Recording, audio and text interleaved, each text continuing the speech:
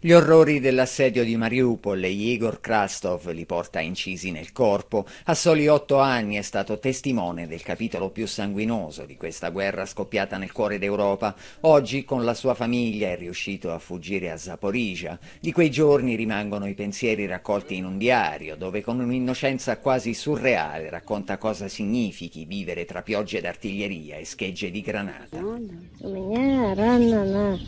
Ho una ferita sulla schiena, la pelle è strappata, legge il bambino. Mia sorella ha la testa rotta e mia madre si è strappata i muscoli della mano e ha un buco nella gamba.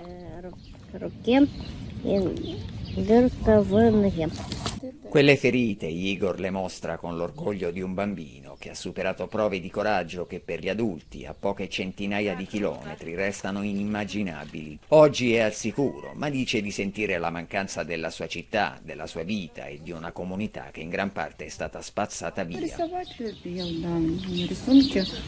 Amava disegnare, racconta la madre Olena. Disegnava con la penna sulla carta, non gli sono mai piaciute le matite colorate e i pennarelli. Disegnava negozi e giochi con la penna, era la sua passione.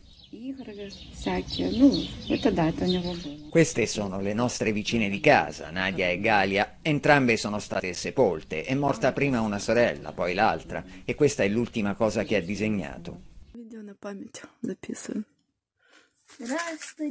Prima di fuggire da Mariupol, Olena ha registrato un video delle rovine della loro casa per conservarne almeno il ricordo, anche se a quel punto un missile russo l'aveva già sventrata.